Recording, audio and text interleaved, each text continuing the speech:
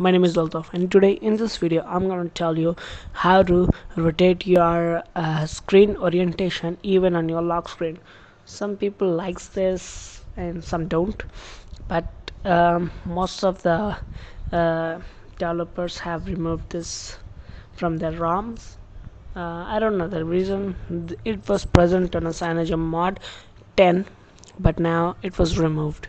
And you can bring it back if you're a hardcore fan of that orientation.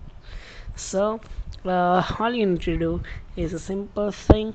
Just copy the lines which will be in the description and then go to your root browser. You need to have a root access for this.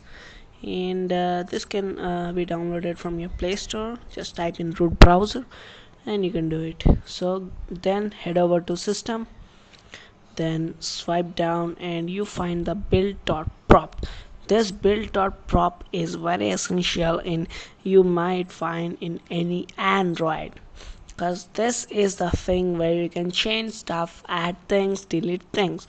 This is very important. If you mess up with this you can totally break your phone. So be careful when doing anything or messing with the builder prop okay now open it with the RB text editor.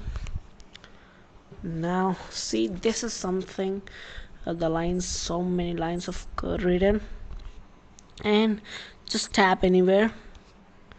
And just uh, give a new space. Then hold on.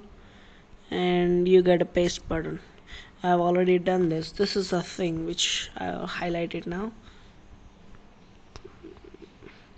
this is the code line. You can copy it and paste it over here and click on save.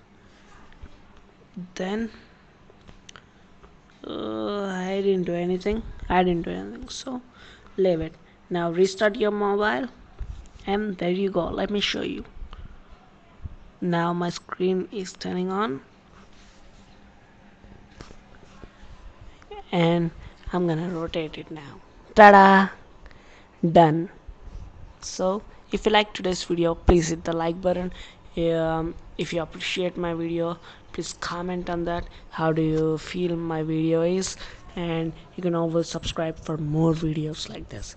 So this is all signing off. And thanks for watching